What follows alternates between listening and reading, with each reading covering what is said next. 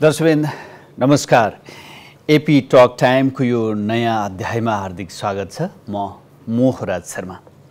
आज शनिबार यहाँलाई अवगत छ शनिबारी श्रृङ्खलामा हामी विशेष गरेर नेपाली वाङ्मयका विभिन्न पक्ष पाटा र आयाममा केन्द्रित भएर लेखक स्रष्टा सर्जकसँग संवाद गर्ने गर्छौँ। आजको श्रृङ्खलामा हामी नेपाली वाङ्मयको निबन्ध विधाका एक शिखर व्यक्तित्व शङ्कर लामिछानेको सम्झना गर्नेछौँ। शङ्कर लामिछाने नेपाली वाङ्मयमा एउटा त्यस्तो उँचो नाम हो जसले एउटा युगको नेतृत्व अथवा एउटा कालखण्डको नेतृत्व गर्नुहुन्छ। उहाँको निबन्ध साहित्यलाई एउटा कोसे ढुङ्गाको रूपमा लिने गरिन्छ।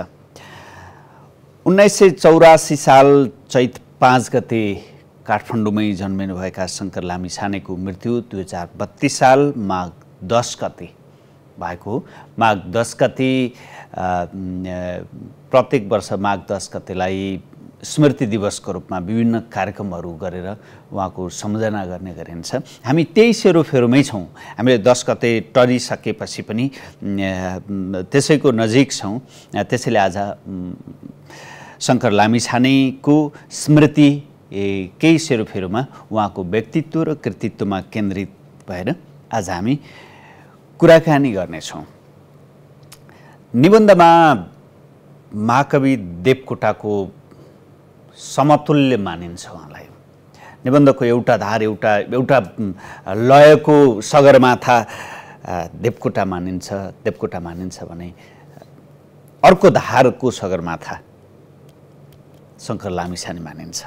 उहाँका प्रकाशित कृतिमा गौँथलीको गुण दुई हजार पच्चिस सालमा प्रकाशित भएको निबन्ध सङ्ग्रह हो। त्यसै गरी दुई हजार अठाइस सालमा बिम्ब प्रतिबिम्ब दुई हजार सत्ताइस सालमा प्रकाशित भएको गोधुली संसार त्यसै गरी एब्स्ट्राक्ट चिन्तन प्याज यो जुन निबन्ध सङ्ग्रहले दुई हजार चौबिस सालमा मदन पुरस्कार प्राप्त गरेको थियो। निबन्धमा मदन पुरस्कार प्राप्त गरेको कृति थियो एब्स्ट्राक्ट चिन्तन प्याज। शङ्कर लामिछाने भन्ने बित्तिकै एब्स्ट्राक्ट चिन्तन प्याज यो जीवन दर्शनको एउटा एउटा अभूतपूर्व दर्शन छ त्यहाँ त्यो उल्लेख भएको कृति। लगायतका चर्चित कृतिहरू नेपाली साहित्यमा छन्। तिनै शीर्ष व्यक्ति शीर्ष लेखक निबन्धकार शङ्कर लामिछाने प्रति समर्पित हुने साझो कार्यक्रम र यो कार्यक्रमको लागि आज हामीसँग हुनुहुन्छ कवि तथा लेखक समालोचक पनि। साहित्यमा उहाँको अरू धेरै बहुआयाममा पहिचान छ। प्रमोद प्रधान अझ पत्रकारिता लामो समय उहाँको जीवन कालखण्डको लामो समय पत्रकारितामा व्यतीत छ। राजशासनमा तिस वर्ष आर्थिक अभियानमा नौ वर्ष पत्रकारिता गरेपछि गर्दा गर्दै पनि साहित्यमा उत्तिकै सक्रियता छ उहाँको। उहाँका पाँच चारवटा कविता सङ्ग्रह प्रकाशित छन्। समालोचना दसवटा समालोचना कृति दसवटा प्रकाशित छन् भने बाल साहित्यका तेइस पुस्तक प्रकाशित छन्। नेपाली निबन्धको इतिहास मसँग छ। यो ने नेपाली निबन्धको इतिहासले पनि शङ्कर लामिछानेले निबन्धमा स्थापित गरेका मान्यता त्यस पछाडि भएका विकासक्रम र पछिल्लो कालखण्डलाई यसले सम्बोधन गरेको छ। यो दुई हजार छैसठी सालमा प्रकाशित भएको कृति हो। स्वागत छ यहाँलाई। हामी शङ्कर लामिछानेको स्मृति दिवसको सन्दर्भमा छौँ। हजुर। आज हामी शङ्कर लामिछानेलाई सम्झौँ। हुन त शङ्कर लामिछानेलाई औपचारिक रूपमा अथवा यसरी जन्म जयन्ती अथवा स्मृति दिवसको सन्दर्भमा औपचारिक कार्यक्रममा सम्झिने केही कार्यक्रमहरू त हुने गर्छन्। लामिछानेलाई उनको त्यो पदचापलाई पछ्याउँदै पछ्याउँदै लेखनमा त्यो कतिको देखिन्छ? धन्यवाद महोदय तपाईँले अघि अगाडि नै भनिसक्नुभयो नेपाली निबन्धको।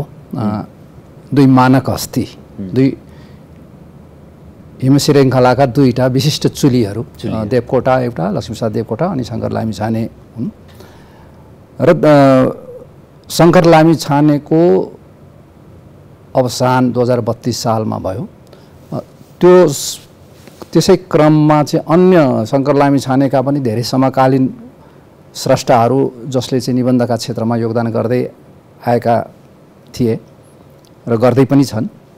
उनीहरूको धार शङ्कर लामी छानेको धारमा फरक प्रश्न देखिन्छ। शङ्कर लामी छाने चिन्तनका हिसाबले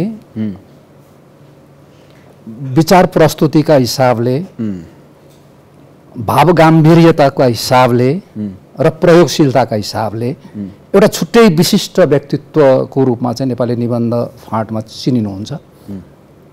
र ठ्याक्कै शङ्कर लामी छा छानेकै पदचिन्हमा हिँड्ने निबन्धकारहरू मलाई लाग्छ प्रयास गरिरहनु भएको छ तर त्यो शङ्कर लामी छाले प्राप्त गर्नुभएको उचाइ शङ्कर लामी छानेले प्राप्त गर्नुभएको सफलता शङ्कर लामी छानेबाट नेपाली साहित्यले प्राप्त गरेको योगदानको योगदान। उचाइको त्यो समकक्षमा पुग्न चाहिँ अझै हामीले निकै लामो बाटो तय गर्नुपर्छ जस्तो लाग्छ मलाई चाहिँ। त्यसकारण उनी एउटा छुट्टै धारका लेखक देखिन्छन्। त्यो धारमै उहाँकै पदचिन्हमा हिँड्ने लेखकहरू मैले चाहिँ त्यति साह्रो देखेको छैन। कसैले उहाँको चिन्तन परकतालाई मात्रै अँगालेर लेखेको देखिन्छ। कोही भाषिक शिल्पका हिसाबले चाहिँ उहाँलाई पछ्याइरहनु भएको होला। तर एज ए टोटलिटीमा समग्रमा भन्दाखेरि शङ्कर लामी छानेलाई नै समग्र रूपमा पछ्याउने लेखकहरू चाहिँ पछिल्लो पुस्तामा छैनन् भन्दा पनि हुन्छ। उहाँको लेखकीय त्यो वैशिष्ट्यगत विशेषता अथवा के हो हामीले कसरी?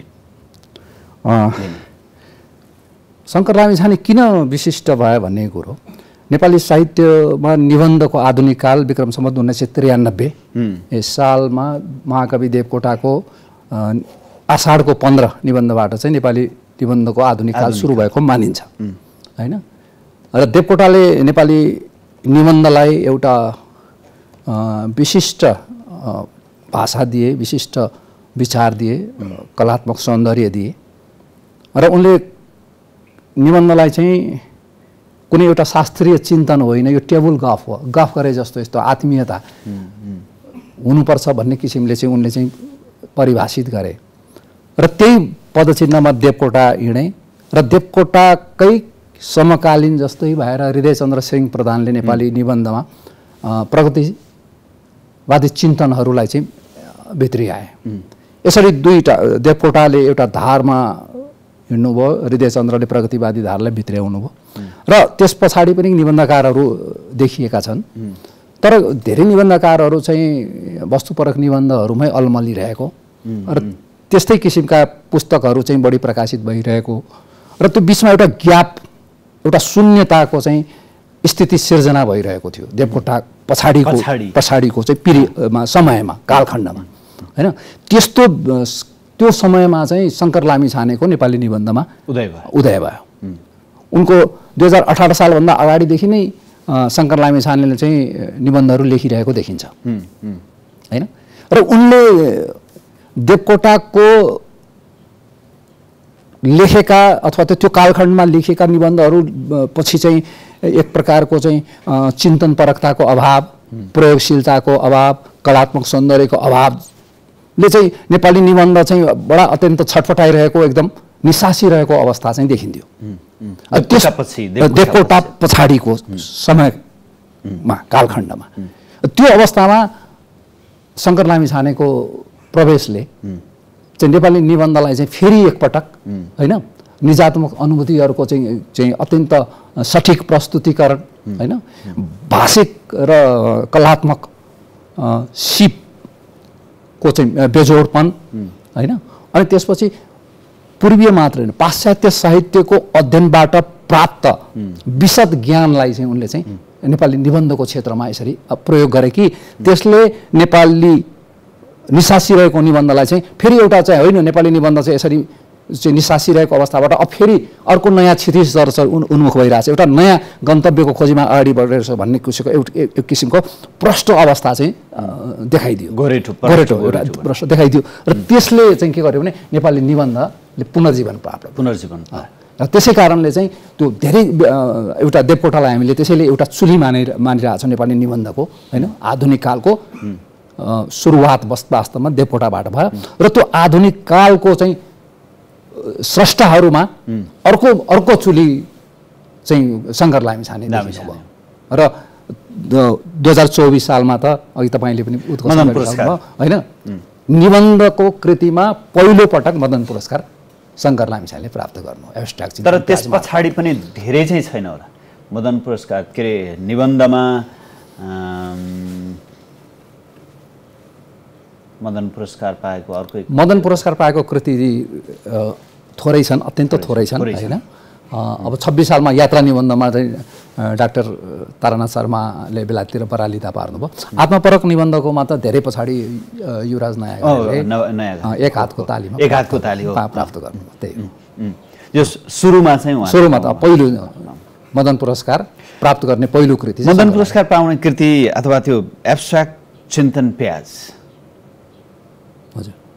निबन्ध सङ्ग्रह निबन्ध सङ्ग्रह उहाँ यो यो कृतिलाई अथवा यो कृतिभित्रको नि यो निबन्धलाई उहाँको एउटा परिचायक अथवा एक हिसाबले त्यो परिपूर्व भनौँ न पर्याय जस्तो मानिन्छ यो निबन्धले के भन्छ यसको सार सन्देश यसभित्रको दर्शन के हो अब मैले अघि पनि भने अब शङ्कर लामी छाने होइन चिन्तनका हिसाबले बौद्धिकताका हिसाबले नेपाली निबन्धका सर्वश्रेष्ठ स्रष्टाहरूमध्येका एक हुन्। र उनको एब्स्ट्राक्ट चिन्तन प्याजमा त्यही नवीन। आजभन्दा लगभग लगभग पचास पचपन्न वर्ष अगाडिको अवस्थामा त्यो बौद्धिकता त्यो चिन्तनशीलता त्यो भाषिक सौन्दर्य होइन त्यो कलात्मक प्राप्ति जुन छ त्यो वास्तवमै बेजोड छ। बेजोड छ। किनभने आज हामी त्यो यात्राबाट धेरै अगाडि बढिसकेको अवस्था समयका हिसाबले समयको हिसाबले। धेरै अगाडि बढिसकेका छौँ होइन? समाजमा देखिएका चिन्तनहरूमा पनि धेरै ठुलो परिवर्तनहरू त पनि देखि देखिएका छन् कतिपय होइन? राजनीतिक परिवर्तन सँगसँगै आएका नयाँ नयाँ इस्युजहरूले चाहिँ परिवर्तनहरू देखिएका छन्। तर हाम्रो लेखनका हिसाबले परिवर्तन अथवा त्यो उचाइलाई होइन? छाडेर अर्को उचाइ बनाउने स्रष्टा लागिरहनु भएको छ। तर अझैसम्म प्राप्त भइसकेको अवस्था चाहिँ देखिँदैन। होइन? र तपाईँले एब्स्ट्राक्ट चिन्तन प्याजभित्रको चिन्तनका कुरा गर्नुभयो। एब्स्ट्राक्ट चिन्तन प्याजमा जीवनप्रतिको उनको दर्शन बडा अनौठो किसिमले प्रस्तुत भएको छ। त्यही एउटा निबन्धको कुरो गरौँ। उनले जीवनलाई चाहिँ प्याज जस्तो तुलना। प्याजसँग। तुलना गरेका छन् होइन? हाम्रो प्रत्येक घरको चुलोमा प्रत्येक दिन प्रयोग हुने वस्तु प्याज। प्रत्येक साँझ बिहान होइन? प्रयोग हुने वस्तु हो प्याज। अब प्याज हामी पत्रै पत्र छोड्याउँ छोडाउँदै जान्छौँ नि। होइन? एउटा पत्र छोडाउँछौँ फेरि अर्को पत्र देखिन्छ। त्यो पत्र पनि छोडाउँछौँ फेरि अर्को पत्र देखिन्छ होइन? यसरी हामीले चार पाँच छ पटक पत्रहरू छुट्याइसकेपछि रहन्छ त के त? शून्य। शून्य। केही पनि रहँदैन। होइन?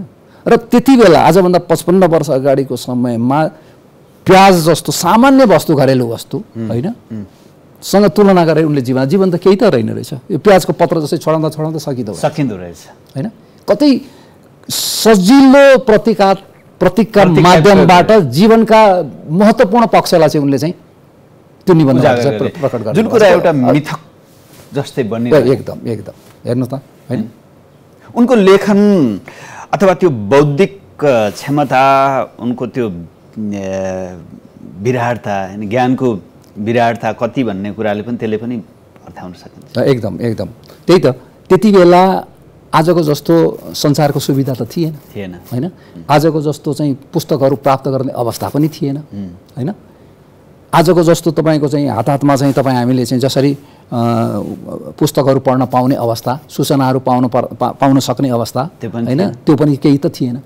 त्यस्तो अवस्थामा उनले तत्कालीन चाहिँ महत्त्वपूर्ण चाहिँ पाश्चात्य कृतिहरूको अध्ययन गर्नु र त्यसलाई त्यो कृतिहरूमा अभिव्यक्त गरेका विचारहरूलाई त्यसमा अभिव्यक्त भएका दर्शनहरूलाई होइन? त्यसमा प्रकट भएका चाहिँ विभिन्न लेखकका चाहिँ धारणाहरूलाई चाहिँ आफ्ना पुस्तकहरू आफ्ना रचनाहरूमा कुन ठाउँमा कहाँ प्रयोग गर्न सकिन्छ? सठिक ढङ्गले प्रयोग गरेर देखा उनले जसरी प्रयोग गरेका छन् त्यो आफैमा चाहिँ उनको चाहिँ अध्ययनशीलता र त्यसलाई कसरी उनले चाहिँ पचाएका छन् लिएर।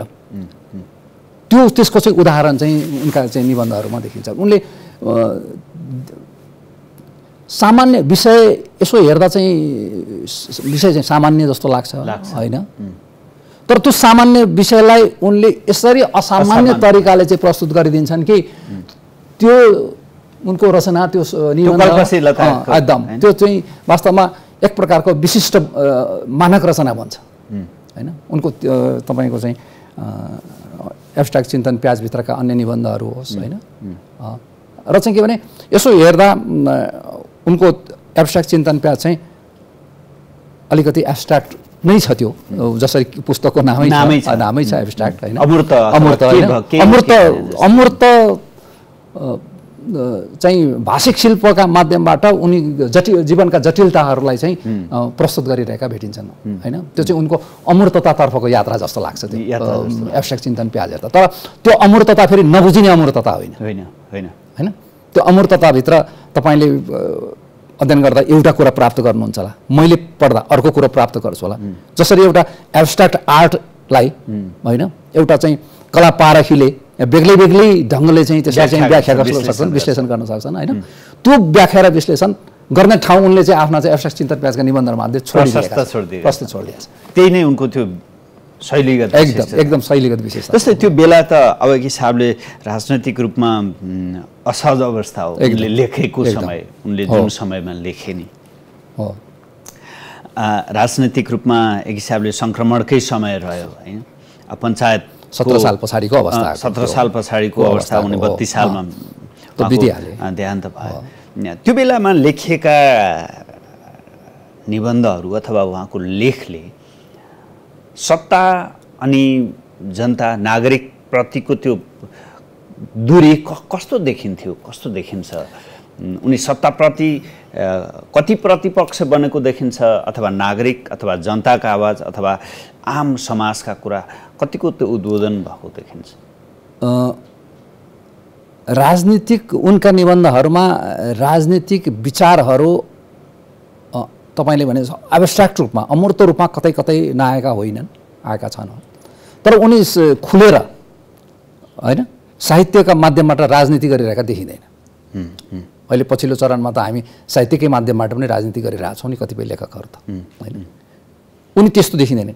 उनी एक प्रकारले साहित्य साधनामा समर्पित होइन? विशिष्ट साहित्यकारको नै उनको छवि देखिन्छ त्यहाँ। उनको रचनामा चाहिँ कुनै राजनीतिक पार्टीको कुनै राजनीतिक विचारको पक्षधरता। खुलेको देखिँदैन देखि देखिँदैनन्। उनी त्यस्तो होइनन् पनि होइन? उनी त आत्मानुभूतिमा चिन्तनमा चिन्तन। होइन? बौद्धिकतामा रमाउने मान्छे हुन्। होइन? त्यसका त्यसकारण राजनीतिका चाहिँ झिनामिसाना कुराहरूलाई लिएर चाहिँ उनी त्यसको पक्ष। फेरि उनमा सत्ता मोह पनि देखिँदैन। कुनै पदीय मोह पनि त देखिएर छैन। किनभने तपाईँ हामी सबैलाई थाहा छ एकाडेमी त धेरै अगाडि नै स्थापना भइसकेको थियो। तर शङ्कर लामी छाने जस्ता व्यक्ति त एकाडेमीमा पुगेनन् पुगेनन् होइन? यदि चाहेको भए स- शङ्कर लामी छाने जस- जस्तो व्यक्ति नपुग्ने भने त प्रश्नै थिएन होला। यदि उनले पनि सत्तासँग नजिक हुन खोजेको भए चाहेको भए हुन्थ्यो होला होइन? तर उनलाई त्यो मोह पनि थिएन थिएन। होइन? उनी त एउटा साहित्यको साधनामा लिन होइन? एउटा त्यो बेला सङ्गत। अब एक हिसाबले त्यो मान्छेलाई लेख्ने मान्छेलाई सङ्गतले पनि ठुलो प्रभाव पार्छ। कुन साथ सङ्गतमा छ कसको हिमचिममा छ कोसँगको हेलमेल बढी छ भन्ने कुराले पनि अर्थ राख्छ। उहाँका समकालीन लेखकहरू अथवा उहाँको साथ सङ्गत कोसँग बढी हुन्थ्यो? कस्तो? अब मैले थाहा पाएसम्म मैले जानेसम्म चाहिँ शङ्कर लामी छानेको आत्मीय साथीहरू भनेका चाहिँ अब अमर गुरुङ होइन सङ्गीतकार विशिष्ट सङ्गीतकार। वरिष्ठ सङ्गीतकार अमर गुरुङ विशिष्ट कवि भूपी शेरछन् गोपी शेरचन होइन त्यस्तै अ, मुक्तकमा चाहिँ एउटा मानक स्थापना गर्ने भीमदर्शन रोका। होइन? जस्ता चाहिँ त्यति बेलाका चाहिँ जल्दो बल्दो स्रष्टाहरूसँग चाहिँ उनको चाहिँ अत्यन्त नजिकको सम्बन्ध चाहिँ देखिन्छ। र बिम्ब प्रतिबिम्ब भन्ने उहाँको चाहिँ जुन- अन्तर्वार्ता सङ्ग्रह प्रकाशित भएको छ 28 सालमा। दुई हजार अठाइस सालमा हो। त्यसमा पनि शङ्कर लामी छानेले चाहिँ अमर गुरुङका बारेमा होइन? एउटा रचना लेख्नु भएको छ भूपी शेषन बारे पनि छ। र त्यो त्यो आत्मीयता उहाँको चाहिँ त्यसमा देखिन्छ। तर त्यो आत्मीयता साथी भएकै नाताले मात्रै प्रस्तुत भएको छैन त्यहाँ। नेपाली साहित्यको एउटा विशिष्ट कविको रूपमा भूपी शेरचन त्यहाँ प्रस्तुत भएको छन्। नेपाली सङ्गीतका एक वरिष्ठ साधकका रूपमा होइन? समर्पित साधकको रूपमा अमर गुरुङ त्यहाँ प्रस्तुत भएको छन्। त्यसरी चाहिँ उनले चाहिँ आफ्ना समकालीन साथीहरूलाई जो साँच्चै नै एउटा सर्जक व्यक्तित्व थियो स्रष्टा व्यक्तित्व थियो त्यस्ताहरूलाई चाहिँ त्यस त्यसमार्फत प्रस्तुत गर्छ। त्यही सर्कलमा चाहिँ उनको चाहिँ जीवन चाहिँ अनि त्यति बेलाको चाहिँ साथ सा, साथी सङ्गतहरू देखाएको छ। पारिजातसँग पनि उनको चाहिँ राम्रो सम्बन्ध देखिन्छ। शिरीषको फुलको तपाईँले पारिजातको। सन्दर्भ उठाउनु भयो यहीँनिर जोडिहालौँ। पारिजातसँग त उहाँको सम्बन्धलाई लिएर पारिजातसँगको सम्बन्धलाई उम्, उनीहरू बिचको प्रेम सम्बन्धको रूपमा पनि व्याख्या गरेका कतिपय पढ्न पाइन्छ रचनाहरू पढ्न पाइन्छ। पारिजातको शिरीषको फुलको जुन भूमिका लेखिएको छ हजुर। त्यो भूमिकालाई शङ्कर लामी छानेको प्रेम पत्रको रूपमा अर्थाउनेहरू पनि छन् धेरै। तपाईँले कसरी लिनुहुन्छ? बडा रोचक प्रश्न गर्नुभयो है अब शिरीषको फुलको भूमिका मलाई लाग्छ नेपाली साहित्यमा अहिलेसम्म लेखिएका पुस्तकका भूमिकाहरूमध्ये सबैभन्दा चर्चित भूमिका चाहिँ शङ्कर लामी छानेको शिरीषको फुलको भूमिका हो होइन? अब त्यहाँ वास्तवमा पुस्तकका बारेमा मात्रै कुरा छैन त्यहाँ वास्तवमा तपाईँले भने जस्तै त्यहाँ होइन? पुस्तकका बारेका उनका विचारहरू भा भावनाहरू धारणाहरू मात्रै अभिव्यक्त भएको छन्। उनको चाहिँ पारिजातसँगको सम्बन्धका कुराहरू पनि अलिकति अलिकति उनको विशद अध्ययनको चाहिँ प्रतिबिम्ब पनि त्य- त्यता ती चाहिँ भूमिकाहरूमा हामी पाउँछौँ। तर मलाई त्यो भूमिका धेरैले अर्थ्याए जस्तो त्यो प्रेमपत्रकै जस्तो हो भन्ने जस्तो चाहिँ मलाई चाहिँ लाग्दैन होइन? एउटा अग्रज स्र- स्रष्टाले नेपाली साहित्यको एउटा अग्रज र चाहिँ स्थापित भइसकेको स्रष्टाले आफूभन्दा केही वर्ष होइन उमेरले कान्छा कान्छो अ, स्रष्टाप्रति को चाहिँ त्यो एउटा आत्मीय भावको प्रकटीकरण मात्रै त्यो भूमिका हो जस्तो मलाई लाग्छ। त्यसकारण त्यो भूमिकालाई लिएर चाहिँ शङ्कर लामी छाने र पारिजातको प्रेम थियो भन्नु चाहिँ अलिकति बढी हामीले चाहिँ अति सहयुक्ति गरेका हौँ कि जस्तो पनि मलाई चाहिँ मेरो चाहिँ आफ्नो मलाई लाग्छ मेरो विचार चाहिँ त्यस्तो छ। र भूमिका पछाडिको त्यो शिरीषको फुलले मदन पुरस्कार प्राप्त गरिसकेपछि अर्को पुस्तकको अर्को पुस्तकको चाहिँ भूमिका चाहिँ उनले लेख्दिनन् लेख्दिनँ भनेर भनेको। हिसाबले पारिजातको? पारिजातको। अ, हिसाबले पनि चाहिँ यो किताब चाहिँ नछाप राम्रो छैन अथवा चाहिँ उनलाई चाहिँ त्यो उनको विचारअनुसार त्यो किताब. उपयुक्त देखिएन भन्ने हिसाबले त्यसकारण त्यो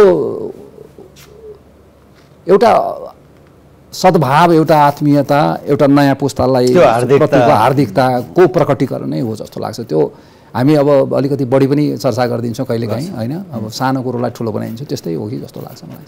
अथवा हुन नै सक्छ। तर मैले अब अहिले पछिल्लो चरणमा पारिजातको जीवनी आएको छ अलिकति सुश्री पारिजात। सुश्री पारिजात त्यसलाई चाहिँ अलिकति आधिकारिक प्रामाणिक जीवनी सन्दर्भहरू धेरै राखेर धेरै ज- जनासँग कुरा गरेर होइन?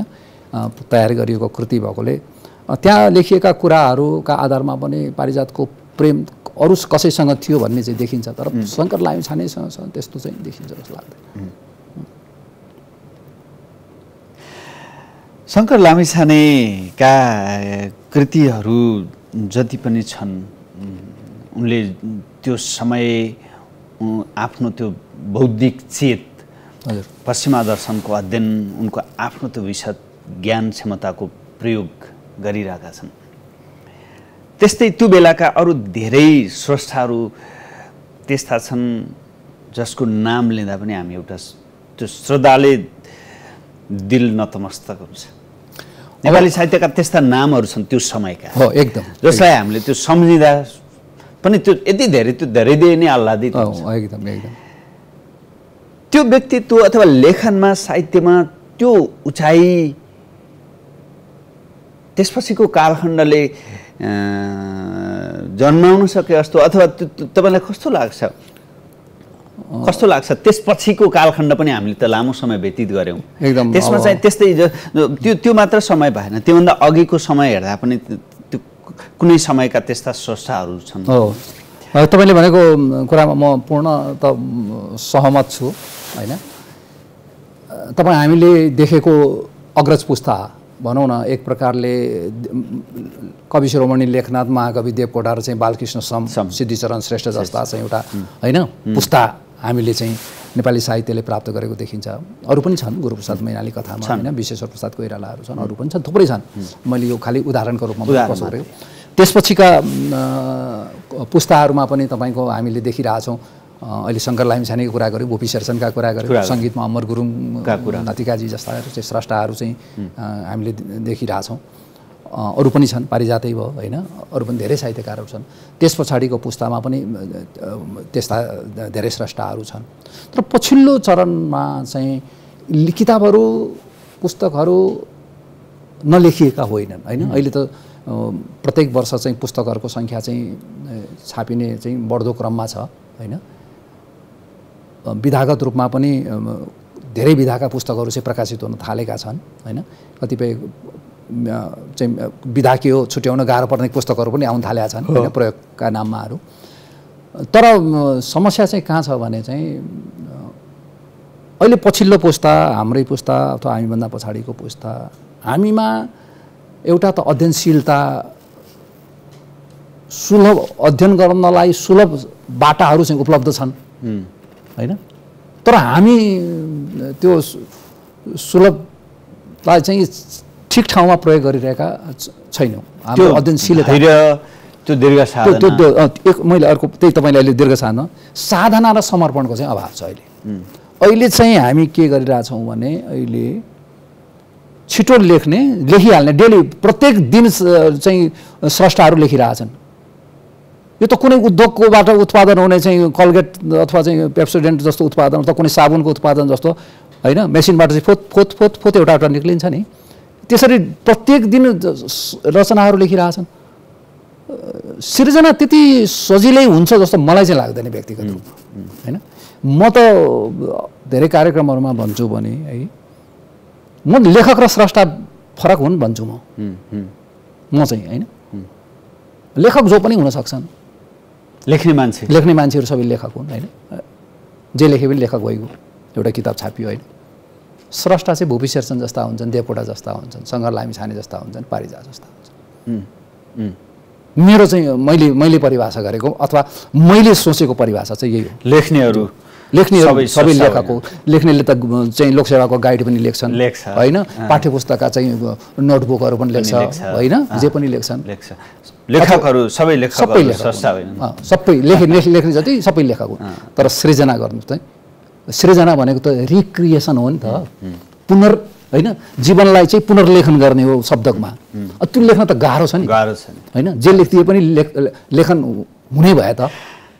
साधना छैन साधना धैर्य छैन। त्यो चाहिँ साह्रै अध्ययन छैन अनुसन्धान छैन। त्यसैले हामीले भने जस्तै हामीले अगाडि प्रसङ्ग ल्याए जस्तै त्यस्तो त्यो त्यो कहीँ न कहीँ अभाव जस्तो फर्किन्छ। हामी। अन्तमा छौँ अन्तमा छौँ। तपाईँ आफैमा पनि धेरै लेख्ने मान्छे कविता लेख्ने मान्छे समालोचना बाल साहित्यमा तपाईँको खास भूमिका छ। हजुर। पछिल्लो साहित्य बजार पछिल्लो साहित्यको उचाइ हैसियत कहाँ देख्नुहुन्छ? हामी अन्तमा छौँ। र र यसलाई चाहिँ हामीले शङ्कर लामिछाने जस्ता हाम्रा दीर्घ साधक पोपी शेरचन जस्ता छन् उनीहरू कसरी जोड्ने र त्यस हामीले कसरी सिक्ने के सिक्ने? मुख्य कुरो त साहित्य भनेको अथवा चाहिँ यो वाङ्मयका विविध क्षेत्रमा जो हामी लागिरहेछौँ त्यो भनेको समर्पणको क्षेत्र हो। यो सेलिब्रेटी हुने क्षेत्र होइन यो। होइन, होइन। सेलिब्रेटी एक दिन आउँछ भराउँछ अनि यो दीर्घ साधनाको पक्ष हो। भूपी शेरचन कहिले दीर्घ सेलिब्रेटी भएनन् भएनन्। होइन। अब नारायण गोपाल कहिले सेलिब्रेटी भए? होइन? नारायण गोपालका गीत त तपाईँको चाहिँ हामीभन्दा अघिल्लो पुस्ताले पनि सुने हामीले पनि सुने हामीभन्दा पछिल्लो धेरै पुस्ताले सुनिरहेको सुने, अँ। त्यसकारण चाहिँ त्यो साधना नै नै सबैभन्दा महत्त्वपूर्ण ठुलो अस्त्र। होइन। हुन्छ। त्यस्तो आज हामी शङ्कर लामिछानेलाई सम्झ्यौँ। उहाँको व्यक्तित्व कृतित्वमा केन्द्रित रह्यौँ। समय फुत्तै गयो जस्तो अनुभूति भयो।